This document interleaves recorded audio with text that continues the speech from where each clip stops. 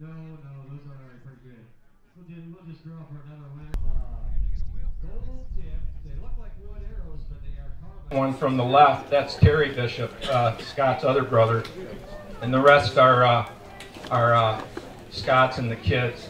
This buck here would be Trevor's first buck, and then the uh, European mount there would be Paige's first buck. Uh, and then the others are, of course, the one in the middle there, the big one, is the is the kind of the exclamation point uh, that was put on this this whole project. So it's um, a lot of a lot of sentimental value here in that. So it's a it's a it's an emotional day for some of us that got to know Scott and got to spend some time personally with him. Um, for me, it was coming to his Habitat Day tour that he did, and then spending a weekend with him uh, in a deer camp in northern Michigan in the middle of the winter in February. How incredibly blessed he was to have a wife like Christy, and how somebody so with such beauty could ever pick somebody like him. Well. Christy is beautiful. She's as beautiful inside and out. We've had an opportunity to, to learn that. And uh, so, for a lot of us here today, it is an emotional day, and we're going to get through it, and we're going to celebrate Scott's life, his passions, and uh, and we're, we're glad that you're here to celebrate him with us. I think all of us, when we really reach down deep, what kind of a what kind of a legacy are we going to leave when we leave this world and move on to the next. I think this this gathering today is a very good example of uh, what Scott gave to us with his knowledge, but that funeral last August was uh, very powerful and, and, said a lot about the man. I'd like everybody to, gentlemen, take your hats off a minute. I'm going to get us started with prayer. Uh, Dear Heavenly Father, we thank you for this opportunity to gather today. Lord, thank you for the sunshine. Thank you for the good weather and the safe travel. Uh, we ask, uh, Lord, for your uh, blessing and, and, for us as we leave this place today. Uh, Lord, um, open our hearts and our minds. Lord, let us be sponges. Let us be uh, examples of your love in our lives today. Uh, bless the Bishop family today at this emotional time for them. And uh, bless this entire event and bless the food and bless the hands that prepared it today. We ask all these, son, all these things in your son Christ's name. Amen. You need to go over and the.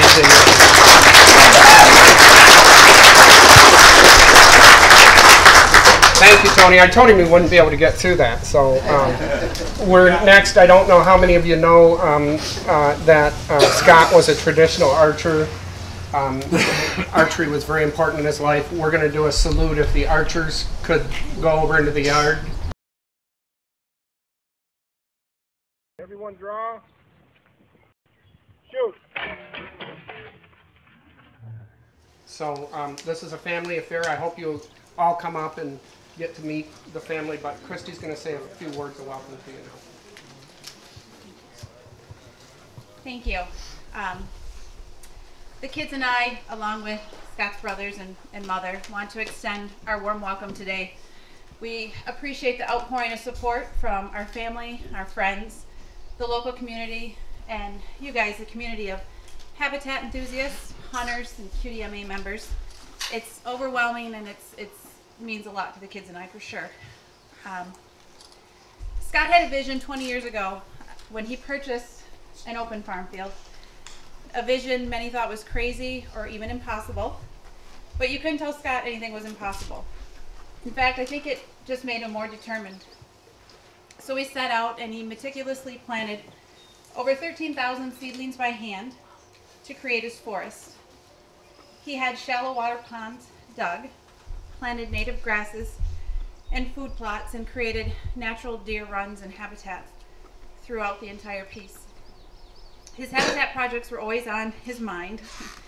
He continuously searched and researched and dreamed up new things to do or to try back here to make it even better. He was not afraid of hard work and knew it was going to pay off in the long run. The payoff was greater than I think he ever imagined. He was able to watch the kids and I harvest deer on this land shoot turkeys on Mother's Day in a blind barely big enough for four, and host traditional rabbit hunts with his brothers and his friends. My hope is that I can carry on this legacy for Paige and Trevor, and I truly thank everyone here for the support to do so. I also hope on the tour today you will find your own inspiration to tackle your impossible. Thank you.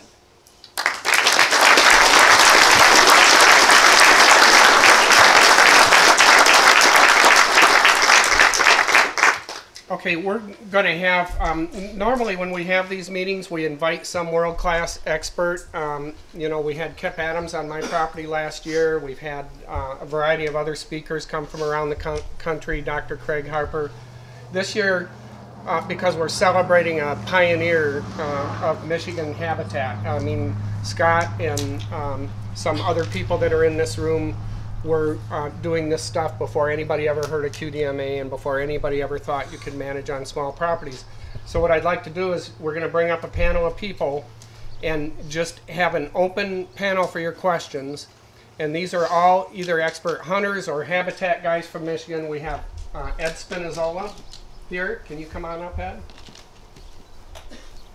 And uh, another guy uh, that, um, you know, Scott was a quiet guy who worked for 15, 20 years. I don't know how long on this property, toiling on it. And he used to have long conversations on the phone with a guy named Mike, Hartges.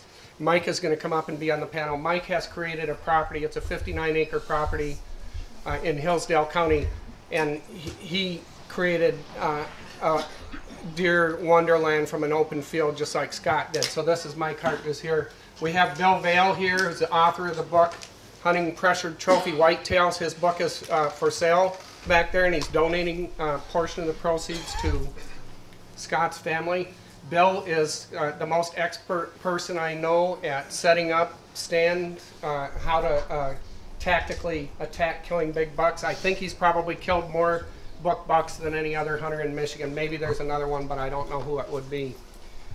Uh, we were going to have Chad Thalen here. Chad had uh, open heart surgery recently and couldn't make it today. Uh, Chad is a uh, habitat specialist who plants a lot of um, um, native grasses and that sort of thing. But we do have Dan Timmons here.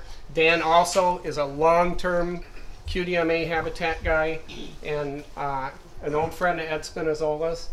Am I missing anybody? I'm going to join the crew up here.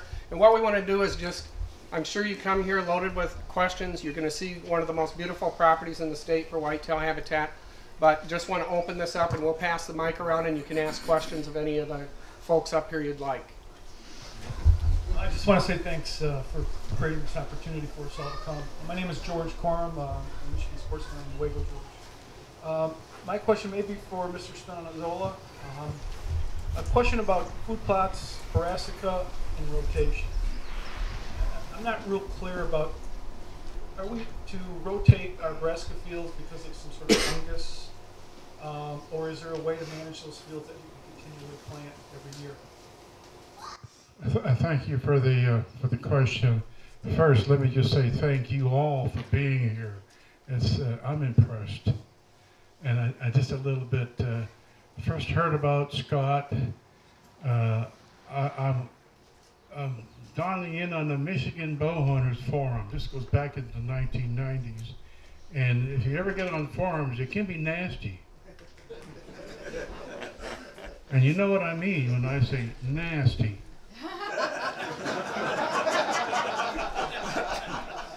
and a voice came across, and it was common sense.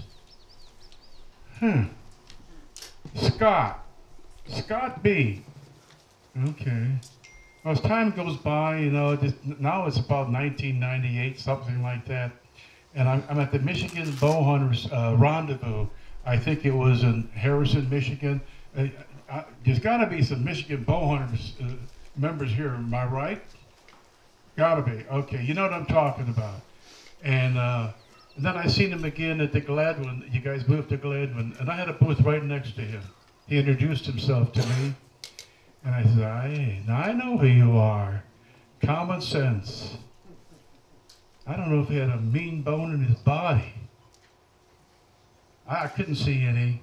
So, and I could go on a long time, but I think you know what I feel about Scott and what he brought to this world.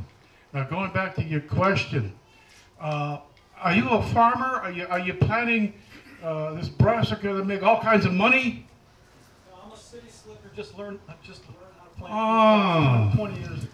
If you were a farmer, and I farmed for many, I grew up in a farm in Pinconning, Michigan, so I, I got some, I'll prove it. My fingernails are still dirty. If you're farming and you, and just your life depends on doing it, you better rotate. If you're not a farmer, what the heck do you care? Number one, when it starts to turn bad and you don't know if it's really bad or not, uh, then then you stop for about two or three years. I have no problem. I plant my brassica for 12 years in the same plot. What do I do? I don't plant it very heavy, two, three pounds an acre. I plant it with soybeans. I may plant it with corn. And when September 1st comes around, I'll put about 20 pounds of grain, a blend of grain. And I find out that makes a difference. So if you follow that, that procedure, you may see you may see a, a drop in one year, but it doesn't mean it, it, it's because it's not being rotated. It could be too much water. Brassica, brassica does not like water, a lot of it. So uh, number one, don't listen to the experts. Thank you.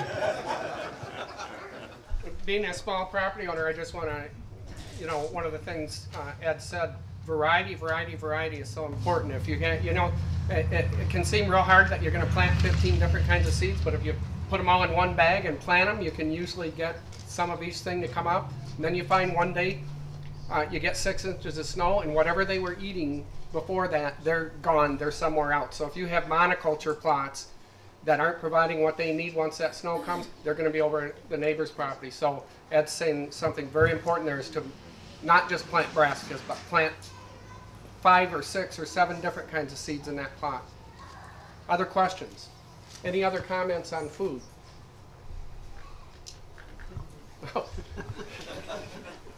Hey. Uh, we have uh, we have a new DVD, and uh, I'm not advertising it because I know it's going to sell, but I want you to know a very good portion of, of that DVD is going to go to you know who, and it's, it's called the Ultimate Corn-Based Kill Plot. If you bought the round, if you bought Woods and Water mag- magazine, and in this issue, uh, there's about uh, something about how you could fight Mother Nature and uh, stuff like that. Uh, how many here are bow hunters? Uh, it should be more than that. It's only 95%. what do deer like during October the 1st? Whoa, wait a minute. Not October 1st. We're not supposed to hunt deer October 1st because they're not in the rut yet. How many here believe that you got to wait till October 20th, 25th, because that's when they're in the rut, they're moving around. If you go there October 1st to, to the 15th, you're not going to get any action. Have you ever been told that? You want, you want to learn how to beat that? Plant what deer like the most, and that is young and green and growing soybeans not sugar beets, soybeans, but you got to plant them no earlier than July 1. He can take over on this. I learned this from this. Dan, I'll be damned. Plant it around uh, uh, first half of uh, July, and you, mix it with uh, something else that could be for cover. How about putting 30 pounds of soybeans? with about seven, no more than eight pounds of Roundup Ready corn and plant it together. You've got, you're not going to get any corn, but you've got the cover. Deer are not going to move into your food plot unless they feel secure. Is there anything that makes deer more secure than cover? Now, all together now, say no. No. no. Nothing. Nothing beats corn as cover. I don't care what this man says. Corn is your answer. You're not going to get any corn, but don't worry about that. That's your that's your cover, and then you can even plant the same thing as travel that's going through there. You're going to do this the first part of July. You wait three weeks and you're going to spray Roundup because you plant a Roundup Ready soybeans and Roundup Ready corn together. The first half of July. Number two, you're going to now around August the 1st, you're going to just broadcast no more than three pounds of a brassica blend. One month later, July, uh, September 1st, you're going to broadcast again a blend. As Jim Brauker said, when I say a blend, don't plant only oats because somebody said buck oats is the best in the world. And I plant Ben oats around September the 1st, blend oats, rye, and wheat together, mix it up, and broadcast it. 20 pounds, no more than 30 pounds an acre. And then September 15th, broadcast 100 pounds of urea. You know what that is? 4600. You've got a kick butt bow sight. Can't beat it. Dan, you got any comments on brassicas? Oh, he don't know Uh, nothing. Yeah. Or beans? Yeah, I do. In fact, uh, I never met Scott, but he and I had exchanged private messages on the Michigan Sportsman Forum going back to the very early days of the forum. And, uh, and, uh, he had a lot of the same experiences growing brassicas that I did.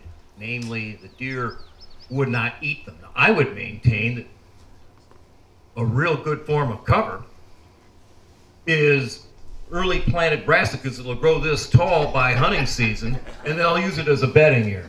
Then, and so another thing that I use also for my access trails, I want to plant something on my access trails I walk on that I know the deer aren't going to eat.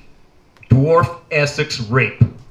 I have not a fear in the world of a deer chewing on one of those leaves. Now I know that's not not everyone's experience, but uh, Scott had a, had a lot of the same observations about deer use of brassicas and turnips and rape on, on, on his property.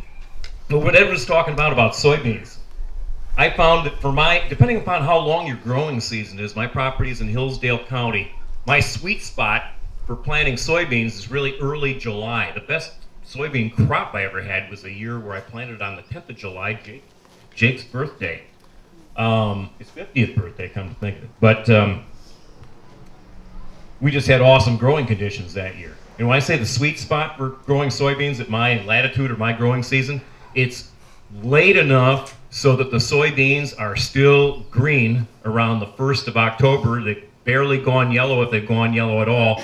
And also, you- you're growing them long enough so I can still get a crop of soybeans, which are just a superlative late season draw once uh, once uh, other you know once the corn may have been taken off and you've got the only standing soybeans in the township.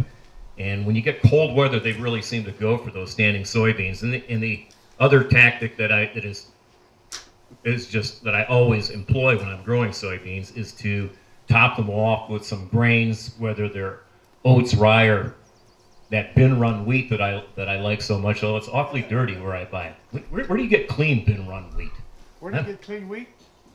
well, the the bin run wheat that I that I use has got a lot of dirt in it, but it, it it's a it's a great accompaniment on those Roundup Ready soys where you've got some exposed dirt and the soys are starting to go yellow and diminishing and yeah, it doesn't get much better than that. Uh, Dan, I'd like to remind you that deer like weeds too. That's Very A, a lot a lot of weeds are well, I call them forbs, you know. You know, it's uh, it sounds tastier, forbs, you know. Yeah, right. And uh, I know that uh, yellow rocket, which is kind of an invasive uh, forb, uh, sometimes known as winter cress, it, it's particularly visible this time of year. Those bright yellow flowers. Well, deer will eat that stuff in the in the winter, and it uh, I hate it is a brassica. Uh, yellow rocket is. It's hard to say. It, it is, but I, I the- early in my uh, habitat days, I observed deer eating that stuff in like in like February. So I just want to synopsize something that Ed's taught us for many, many years, and he taught it in his book is don't listen to farmers. If you listen to farmers, you're planting your grains, you're doing it too late. If you listen to the farmer when he's going to plant his corn and beans, you're doing it too early. We're, we're trying to plant food plots for deer. We're not growing crops and rotating crops and all that sort of thing. So think outside the box. These guys know what they're talking about. They've been doing it a long, long time. I also want to say I think Dan Timmons is a bit of a liar because I've seen where deer have eaten brassicas on his property. and I have a property just a few miles away, and I can't get a turnip to last until mid-December. Rabbits. So, do we have other questions? Uh, maybe we can get into some other areas of habitat. Yeah. Just real quick on the whole brassica thing, I had the same experience Scott had. My deer just, I mean, if you if you didn't want deer to go there, you didn't want anything to get ate, plant brassicas. Well, uh, but I never gave up on them. I kept putting them in the. I tried them again the next year, and by the third year, my deer now, I swear to God, they developed a taste for it. It, it. Is there such a thing as that happening? Because now my deer readily eat my brassicas, but they did not. And it, it is. Sometimes, though, it can take 50 or 60 years.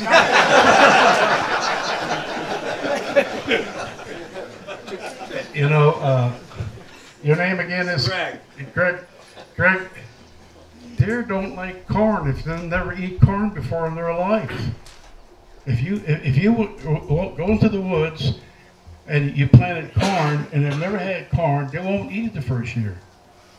It's hard to believe, isn't it? The reason. I mean, if there was no bait out there. Right. I mean, the brassicas are a, a great choice for something that grows easy, makes a ton of food. So I didn't want to give up on it because what a great resource for a late summer food plot. But if the deer don't eat it, what good is it? Well, by sticking with it, I, my what I'm trying to say is if anybody has a similar experience, try it again the next year. They'll eventually come to it, and once you've got them, it's such an easy thing to grow. And you know, what else would you put in besides wheats or cereal grains that time of year? And think about what uh, Jim Brauker said, variety. When you, when you buy any kind of seed, try to buy a blend. Uh, if you can get a brassica blend that's got kale, do you know what kale is? That's what you eat in the restaurant. It is not bitter to the deer. They will eat that kale lusciously. The second best thing is, can you say canola? Canola. Accent. And that's what that guy plants now. He plants winter canola. It has less of the toxicity in it because the, the, the Canadian government took regular rape and took out the, uh, I forget the stearic acid or something like that. I forget the name of the acid that's in it. And now you ladies, you buy canola oil. That's nothing but dwarf Essex rape that's been genetically modified. It took the toxicity out of it. Now you'll find that deer will prefer canola over others. Am I right? I'll take your word for it, Ed. I, um, I got a bag of canola last year from Dan Timmons. He gave me a five pound bag. He said it was Ed Spinazzola's uh, Roundup Ready uh, canola. I planted it and I sprayed it with Roundup, and it was the last I ever saw of a single leaf of it. So I, I think it might have been a practical joke. Well, ask Ed, what was the deal? Uh, well, I'm sure Ed was selling real uh, uh, Roundup Ready canola, but it wasn't getting through that way from Dan. So um, There is he just Roundup wanted to Ready see how There- much. there- there is such, there is Roundup Ready winter canola. He just wanted to see what my budget was for Roundup. Uh, I, I, I want to point out, um, Mike Hartness on the panel here has done what Scott has done, and what you're going to see is taken an empty field. If you have any questions along those lines, he's taken an empty field and created a whitetail wonderland. Bill Vale is the best expert on wind and stand setups and that sort of thing. Uh, if you have, you know, if we can, you know, get away from the food and ask, uh, perhaps there's other questions. I have a that people question for Bill. Bill, I, go. I I got your Ed, book and Ed. I talked to you on the phone, but I never got a chance, I never had the pleasure of meeting you. My question from these people here is, what's the best day to be in the woods this coming fall?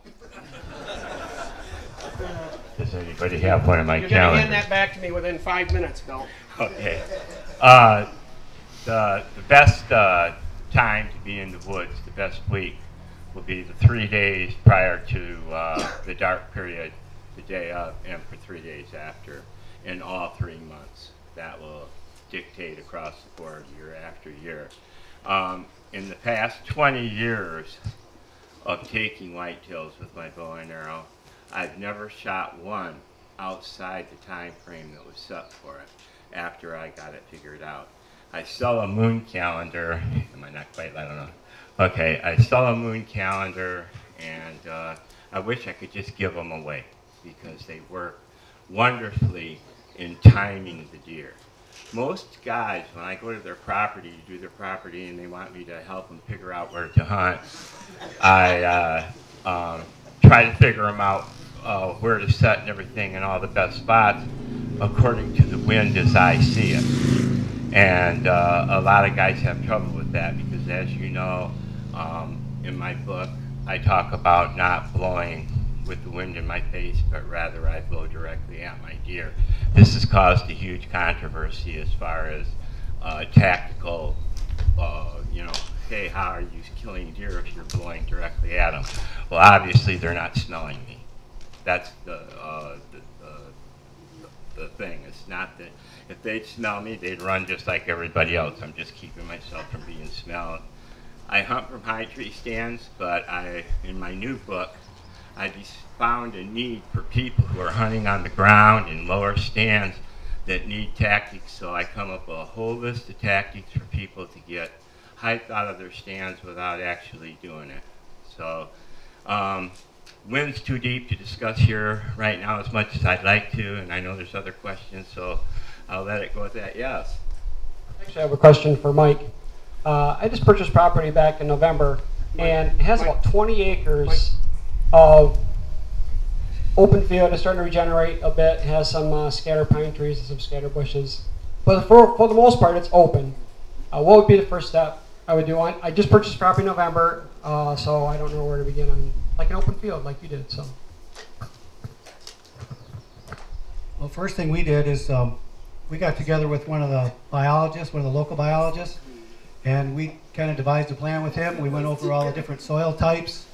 Certain plants will grow on certain soil types, and other plants will refuse to grow on those types or will not do very well at all. Say, for instance, if you got uh, some wetter areas, maybe some of these uh, speckled alders, like you see up over here, or some willows. There's a variety of willows that can be planted, some shrub type willows.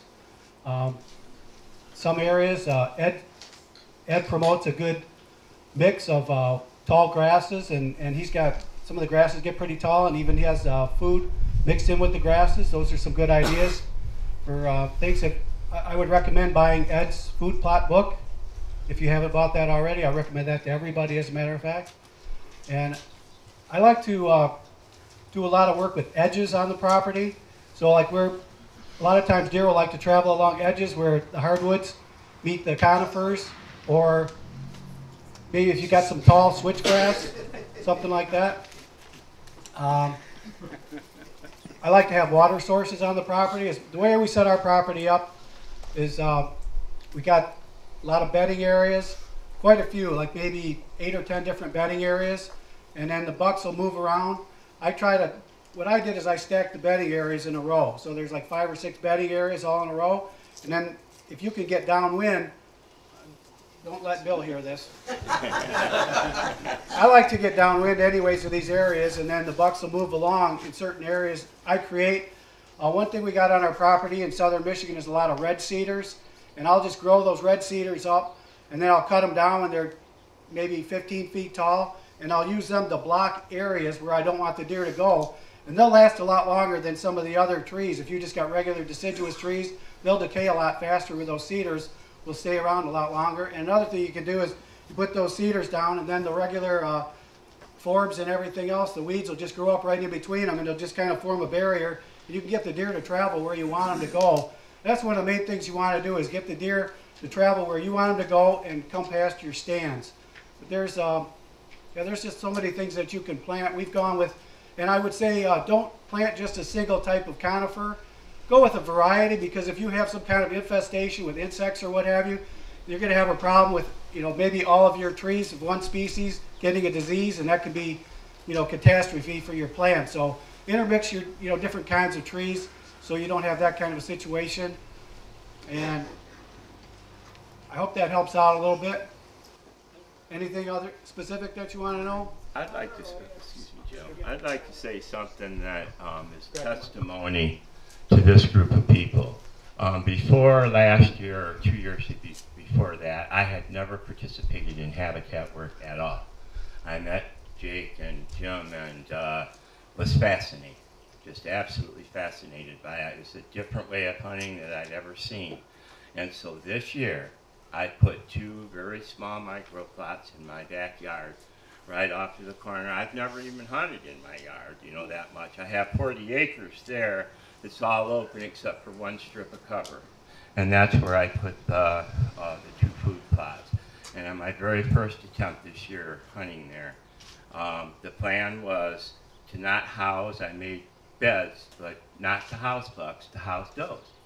And my hope there was that when the does came into bed during the peak of the rut, the bucks would follow. And that's what happened. I killed a very nice 140 inch whitetail on November 3rd, the perigee, uh, the moon being involved, everything that I talked about being in my book all lined up. So it was a real tremendous experience for me, but what was the biggest thing was I had fun preparing the gram, getting my hands dirty, thinking all these different thoughts and stuff that uh, this guy here taught me. But anyway, thanks. So Mike um, uh, grew his property up from um, uh, an empty field. Scott grew his property up from an empty field. They planted tens of thousands of trees. I want to encourage people, though, to recognize the value of just letting an, a field go, too. I like to suggest that the first two or three years, you kill everything in that field, till it, kill it again, maybe till it again, kill it again, and then see what comes up over the next two years. You could have ash trees and mulberry trees this tall in two or three years. And if you have good soils, you can have all these forbs growing up like goldenrods and giant ragweed that creates just absolutely superb deer habitat. So you don't have to break the bank spending a lot of money. You create a lot more beauty when you do what these guys have done, growing the fruit trees and the evergreen trees and all that. But old fields are as good a deer habitat as exists anywhere. Other questions? Yeah. This is for Bill Vale. Okay. Did you allude to the fact that you have a new book coming out? Uh, yes, I do have a new. Uh, Let me hold it for you, Bill. Yes, I do have a new book coming out. It's called uh, Intelligent Predator, and um, basically what it uh, is designed around is using intelligence to, I mean, I don't know how many of you here are Christians, but I based my book off the scriptures and what they say. And in the Bible, it says there's two great lights, one to control uh, the day and one to control the night. And there are many other verses in uh, uh, the creation verses that harmonize beautifully and is what conducted my study in that direction. So when I say that I thought something up, really it's not. It's been my inversion of the thinking that God has delivered to me through his book. When will the book be coming out? Uh, hopefully within one year, because at the last minute I kind of decided to do it like a guy I know that would just come out with a killer book, and uh, so it's going to take me a little longer. Yeah. Uh, for those of us that don't have a uh, drill, uh, when it comes to soybeans and corn, and you're just broadcasting it, what would be the best way to get it the proper depth? Light till or drag harrow or this is in a sandy loam? Okay, pretend you're a farmer now. Corn should be in the ground two inches. If you want to do it 100%, then you broadcast your corn and fertilizer and you, you set your tillage tools four inches. The average depth is two inches, and that's the depth for corn. If you're going to do soybeans, the depth for soybeans should be about an inch and a half. And if you could do soybeans by itself, then you could till it three inches deep. If you're going to put sugar beets, because I recommend that you really try, seriously think about it. That's what our new DVD is about. It's a blend of corn, soybeans, and sugar beets. And it's planted early for normal, or it's planted late. Now, let's say you ain't got time to mess around. You mix the corn with the soybeans, and maybe you got some sugar beets. It's all Roundup ready. You mix it all up. The corn is no more than seven pounds an acre, unless it's cheap corn, then you go to eight pounds. Pheasants Forever, something like that. It could be two. It could be more than two years old. You mix it with 30 pounds of soybeans. Notice how light this is. And you mix it with uh, sugar beets, Roundup Ready sugar beets, at one fourth the normal seeding rate. not the normal. One third, one fourth, something like that. You mix it all up and you broadcast under you broadcast underground, but you broadcasted fertilizer first because we're doing it all at one time. Till that fertilizer four inches deep. Never go deeper than four inches, or never go deeper than your topsoil, even if it's only two inches. And then when you till all three together, don't till any deeper than two and a half inches. And after you're done, you go over with the cultipacker. Uh, let's see a Jim walk. Just take a few steps. That's too fast. Slower. Uh, That's too slow. That's how fast you. Oh yeah, he's showing off. That's how fast you go with a cultipacker. The cultipacker was not designed by a human being. That's about the speed you're supposed to go with that cultipacker. How come it's so hard for you to pick that up? And you cultipack all three together. Remember, you you you you, till the uh, you till the fertilizer in by itself. That's got to be in with the four-inch tillage. And then if you put everything together, there's nothing wrong with that. The seeds on the top are going to have a hard time to grow, but if you cultivate, you're squeezing the air out. That's your enemy, air. But go slow with that cultipacker. You know, I, I'd rather go one time super slow than two times fast. And then the stuff that's down deep will come down anyhow. And if you have a good rain right after you, you planted it, you done cultivated it. That never happens. Uh, you know, when, when some of us, like Bill, go to church, it can happen. Nothing ever works farm legends way. Other questions, please. Yes, sir. Off your last statement there on the bare field and tilling it. Right. Off your statement there on the, the field there, tilling it, letting it regrowth. I see often on the on the forum there that you guys are recommending clothodium. I think it's called. Clethodim. Okay. So- could you, could you elaborate on that a little bit? Yeah, your main enemy in letting a, a, a field go to old field is going to be cool season grasses. And so many people let them go two or three years and they say, my soils are no good, nothing's growing here. And you walk in there and look and it's all these grasses like in this lawn here and they're matted four or six inches thick. Uh, so seeds can't even get started. If a seed can get started, say a little maple tree starts up, it, it's poking its head up, it's about that big, and by the time, you know, it, it's going to be two or three inches tall, the weeds are going to be up this, the, the grasses are going to be up this high, then they fall over and they mat that down, and that maple tree never survives for the next year. So it's really about getting rid of those cool season grasses. So you can go into that field, let it green up, kill it with Roundup, let it green up again, kill it again if you want. Uh, tilling is really great, burning if you can do it. Not all of us can get away with burning. Then, when it starts to come up, you may want to tune it up. And then from then on, because you're going to have your other kinds of forbs, and forbs are just plant any broadleaf plants that you go have going there, uh, that that grow are, are called forbs. So you want to encourage them and encourage the trees. So if it looks like those grasses are starting to recover, that's when you come in with a grass-specific herbicide. And clethodim, I believe, is about the cheapest one you can get now. Uh, you can buy it for Rural King, and they'll ship it to you for about 70 bucks. Hey, add something, uh, and a good accompaniment for the clethodim is uh, crop oil for Yes. making the clethodim a little more effective. The reason they call these grasses these cool season grasses is they make their best growth during the not so hot temperature time of year, spring and fall. And the reason why applications of clethodim are effective in getting greater forb diversity is because in the spring, what grows the fastest, the most? The cool season grasses. And those cool season grasses will grow early. They'll before you know it, they're knee high, and the forbs, which may get a later start because they may be, their growth may depend upon warmer soil temperatures than cool season grasses do. They don't have time to get going and get established, and that's why the cool season grasses will uh, totally dominate and cause the forbs not to develop.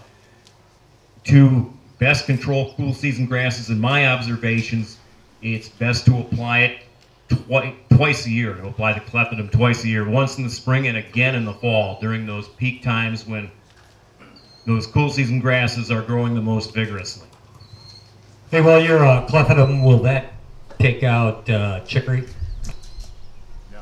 Uh, s- uh, Repeat that, please. Will the clef- clethodim eliminate chicory out of my plot? Uh, Are are you asking if uh, glyphosate will- will kill chicory? Clethodim. Clethodim. No, Oh, it's, I it, clethodim's grass specific. It'll just kill grasses. Okay, uh, just, just to add on to what Dan just said, uh, Roundup, it isn't as great as, you, as people want to say because it kills bacteria.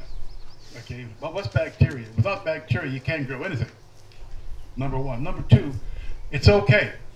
Add carbon to the soil because the main uh, food, for bacteria is carbon. Second best food is nitrogen fertilizer. So you can, you can overcome that. That's another story. You want to maintain, you put in a good food plot, you busted your butt, and now you got a clover field that looks pretty good. Again, always a blend. Add chicory and everything else. And here's what you're going to find out. You spray with Roundup, not the year you plant, not the second year. You spray with Roundup in the spring. Think May 10th, May 15th. You have to have moisture in the ground, lots of it, and you will not kill the clover. You not you not kill the alfalfa, and you won't kill birdsfoot trefoil, and you won't even kill chicory. Third year, a lot of moisture in the soil, and then every year after that, and you can actually maintain a clover field for about 510 years. Question at the back? Exactly right. Exactly right. Uh, Five ten, not five eight. yeah. Five ten. Is clethodim a restricted use herbicide? I don't believe it is. What was the question? Uh, is it restricted use? No, uh, you mean uh, glyphosate Roundup? No. No, no, no. No. E- even Dan, no permit. with his infirmities, uh, is, is capable of using it. Actually, actually, I bought it at Rural King for eleven dollars a gallon last summer. Yeah, it's really much less Cheap. expensive than some of the name brand grass-specific herbicides. Just another comment on food plots, and maybe we can move something else. Ed is going to be speaking at, at the back of the property when we do our tour later, so he'll be, excuse me, talk, talking a lot more about food plots. Um, it- it- I think the biggest mistake people make is trying to get pure food plots. They want to have a pure plot of chicory or clover or something. All that, all those weeds that are growing up in there, most of them are deer food. And if you go and inspect your plots, you look in late summer and, and, and, um, uh, what am I, common ragweed, yeah, they're hitting common ragweed more than anything else out in your fields in late summer. So these other plants create variety. And I would say if you're doing wooded, uh, you have stumps that you cut out in a food plot, and I hear these people say, kill those stumps. Worst idea I can think of in the world because a deer goes in the food plot, and those stumps are going to grow up shoots of maple or what ash or whatever you have in there, and the deer's going along eating nothing but clover and go, whoa, an ash tree. Uh, so your the variety is so important in these food plots. So don't try and get pure. Don't go for perfection. That's for farmers. It's not for deer. I got a question right here. Okay, back here. This one's for Very Jim. good. and- This one's for Jim and Mike. Uh, the Bean Creek Co-op that you guys are involved in, I see you were very successful last fall. Is there a secret to getting your neighbors on board? Well, um, I was blessed to have a co-op that came to fruition this year. Uh, I have an article that was in this month's uh, Quality Whitetails magazine where I tell the story of a buck called the Big Six. And it really came together on 380 acres of land, five contiguous properties. Uh, it was uh, along a creek bottom where a buck can go for 1.6 miles without leaving cover or leaving one of three people's property. All of us have spent several years following this buck called the Big Six who was killed uh, on October 22nd this year. And this really brought our co-op together. Uh, when we started seeing pictures of this, this was a three and a half year old when we first saw him in 2012, six point deer that was about a 100 inch deer. He never grew very big antlers. Uh, the uh, following year, as a four and a half year old, he had uh, six points and was maybe 110 inches or so. The next year, he grew two little uh, G3s. So uh, he was an eight point when he was killed by my friend Luke. The best deer hunting day of my life when that buck that we had so many pictures of died. And this all came together with just five landowners, and most of it happened just on my neighbor Luke and my property. He killed that buck Uh, Ten days later, I killed a 150-inch eight-point that we had never seen before in, in that co-op area. So that, um, in just a few years' time, uh, that uh, little cooperative effort, and you never know where it's going to happen. It creates a combination of habitat and um, um, it, uh, stopping competing with your neighbors. This is a game that we play out in the woods and all these little 40, 60, 100 acre lots where uh, everybody's sitting on their acreage and wondering what the next guy over there is going to kill. The best way to win that game throughout the history of Michigan is to shoot the first antlered buck you see because if you don't shoot him, the neighbor's going to. What Luke and I started to do with our neighbors is we took every single picture we had of these big bucks and we showed them to every neighbor. I especially want the poaching neighbors to see them. I want the people that are killing the little bucks, I want them to know what's out there. And that's how I think that you um, get a co-op to a level where people start saying, my God, we really can kill deer like this on these small properties. That's a cooperative game. Everybody wins. Luke and I, after we each killed our big bucks, had chances to shoot what were shooter bucks for us earlier in the year. And we said, we're stopping at one, we're going to pass these, and we want our neighbors to kill those deer. We hope our neighbors will kill those deer, because if they do, that changes their life forever, just like it changed our lives forever to kill our big deer on that small property. So I hope you get a chance to look at that. I will say another thing, he mentioned Mike Hartges.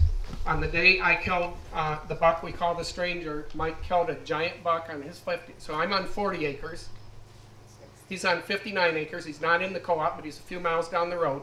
And our good friend Jay Killinger on 67 acres. That same day, November 2nd, we all killed trophy bucks on our little teeny properties. That's habitat, habitat, habitat. So it's a combination of habitat and it's cooperation. Uh, Mike has a little bit of cooperation around him. Jake has none around his property, and he's doing it all on his property, just the way Scott did here. It shows you the power of gentle persuasion. Yes. Yeah, we do not tell people what to shoot in our neighborhood. We show them what we have available to shoot at the end, beginning of the year. We invite everybody, I don't care who, anybody that wants to, can look at all the pictures I have. Because we're real serious about it, and so we take a lot more pictures. We want them to know what's out there. We're not holding it in. So many hunters that say, I'm not going to tell you what I got, I'm, I want to keep it secret. That is the wrong way to do it if you want to grow big bucks in your neighborhood. The right way to do it is to, to let those neighbors know what's out there, and then if they kill a deer, call them up and say, hey, I've got a picture of that deer standing 12 yards from my stand. You want to see it? That kind of persuasion is much better than coming in at the beginning of the year and saying, we don't want you to shoot anything but eight points. We, do, we want you to do a 15 inch spread. Uh, this is a much better way to do it, and it works. Doesn't always work everywhere. I've got 130 acres of superb habitat where I cannot see a four and a half year old, and I've got 40 acres where I expect to kill a four and a half year old. Uh, so it, it, it doesn't work everywhere, but it works over time. Uh, and I expect that that 130 acre property over time may begin to work as well. Other questions? Yes. Yeah. Uh, good or bad, what's your uh, opinion of autumn olive? Well- Love autumn olive. I'll talk about Multiflora rose. Multiflora rose is what uh, I, I have never seen anything uh, that will bring deer out of their beds more. When I go in and hinge cut a woods, uh, if I'm not getting Multiflora rose going, I have to go in back in and hinge cut some more. Uh, and uh, there's no, I've never seen anything uh, that deer will feed on more aggressively than Multiflora rose. So I love it. I, I get I have pictures in my Facebook page of my arms all scraped up. I love it. I love it. I love it. You cut paths through that, and the deer will keep those paths pruned back if you have a high enough population of them. You just have to establish those paths. You can clear out areas in them. But that'll get the doe families. You have these Multiflora rose growing in the woods, and you have a bedding area. Those doe families are going to be up every two or three hours all day long feeding on that multiflora rose. And I've got hundreds of hours of uh, video uh, that you can see on my YouTube site that shows these deer popping in, in you know, up and, and eating these. So I love Multiflora rose. I'll let somebody else talk about uh, autumn owls. And a- actually, there's an autumn owl story on the tour. Dan's anxious for that. Yeah, one of the problems you get when you have severe winters like we've had the last couple of years is you get some die off of autumn No kidding. and, uh, and we'll, and there's some evidence of it uh, here on this property. I think, you know, my personal opinion, and there are people that, you know, for, work for the NRCS or the uh, DNR that really look upon autumn olive as the great Satan of wildlife habitat. And uh, it can be invasive. On some sites, it's more invasive than other sites. On my property, it's never been a take over the universe kind of uh, uh, plant. It does provide excellent cover. I like autumn olive because it uh, is something that you can establish if you're planting it from a seedling, which I guess we can no longer do in Michigan. But you can transplant them. But uh, they establish very easily with minimal weed control. They can produce very good cover. The fruit that comes off them is very high in lycopene and uh, and high in vitamin C as well. And uh, Dr. Stephen Forche, who's in attendance today, had a had a great remark about I, the fact that he loves the smell of lycopene in the morning from autumn olive berries. Real quick. Um, I, I want to hear from Mike Hartges on autumn olives because I've seen all the autumn, autumn olives and what they do to the bucks on his property. They're like catnip. Well, I first got started with autumn olives back about 1980. Uh, Conservation Service was selling them, you know, along with white pines and spruces and whatnot. And uh, we planted quite a bit of those on, quite a few of those on my mother's property out by Howell in Livingston County. And I have to tell you, that was a long time ago, 1980, and the deer are still using that area as a bedding area today, right out in front of her house. And then on our Hillsdale property, we planted quite a few of those, and we make, we put rows of them, and then we just have, uh, they all serve as licking branches in the rows, like where you've got uh, short grass or clover right along the edge. If you just, you got the branches about this high, keep them trimmed about that high, and, and the bucks will love to use them as licking branches and, and scrape sites. So they, they really are effective. They're good for bedding areas as well. If you can mix them in with uh, some taller grasses or just let it go natural with the goldenrod. But one of the things about the autumn olives is they're one of the species, like Dan mentioned, that you can plant them and they'll just grow. I mean, if you plant them in a heavy sod, they're going to have a tough time getting started. But if you just give them a little bit, you know, spray some Roundup down and, and, and planted those, they'll just take off. We tried some other things like uh, bush honeysuckle, and they were very hard to get established because of all the weeds around. But the autumn olives really took off, and and uh, they've been a great habitat shrub on our property. I can say that. And they will spread quite a bit if you've got, especially on drier sites. But um, they've been really uh, beneficial for us, I would say. Okay, um, I, a real short comment because we're getting ready for the tour. Uh, my feeling about autumn olive is just a bit different than this three esteemed speakers. Uh, this is my feeling about autumn olive. I nominate autumn olive for president of the United States of America. It will be an improvement.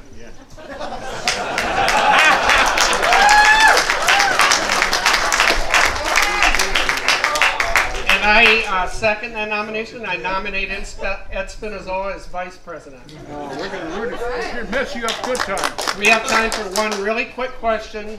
Then we're going to bring Greg Bishop up, and he's going to read you uh, some information about this property. We're going to do a property tour. Uh, one last question, and, and panelists, let's make a quick answer out of it. Do you have a second alternative to autumn olive if you're not interested in it? There is none, is there, Ed? No. No, What was isn't it? there a Russian An alternative to autumn olive. Russian olive. Which is a native plant, right? It's not an invasive. Right. Okay. So um, uh, we we really have to get going on the tour. Uh, Any more questions they can ask us on the tour? uh, these guys are going to be on the tour. Dan will be talking about native grasses and ponds. Ed will be back at the back of the property talking about uh, destination food plots. I, because of my knees, because I just had my Yeah. surgery, I'm just going to be at the table to talk. Bill will be back here at the table, so you have access to some really great Michigan habitat and hunting experts.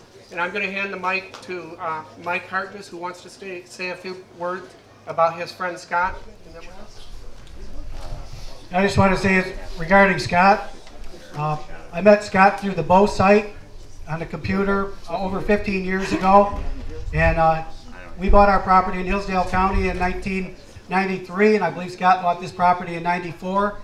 And every year we just went back and forth and, and uh, talked to each other about everything that we were planting and, and uh, the water that we were putting on the property, the ponds, and uh, what we were doing as far as mixing in different species and the grasses and everything.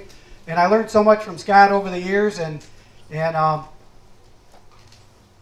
he's taught so many people on the Sportsman Forum so many different things about habitat improvements, and uh, I just miss him greatly because you know this time of year we'd always be talking about what we were doing on our properties, and and uh, he's he's just a great great guy and missed by all of us. Just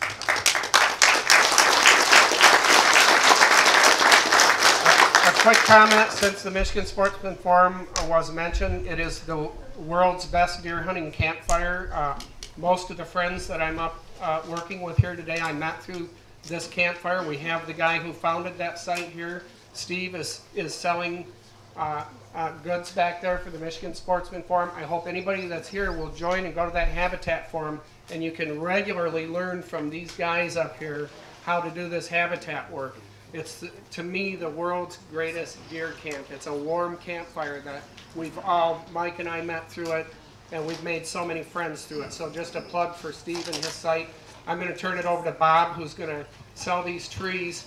These are memorial trees. Scott Bishop is known for uh, growing speckled alders. He's sold speckled alders over the years. These have a brass plaque with them in memoriam of Scott. And uh, all the money that we're going to raise here, every nickel we're raising here today is going to Christy Bishop and her family.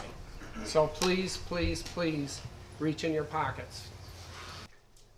Who give me $100 for one of these trees right here? $100. I got $100 here. How about $150? $150, $150. Who give me $100?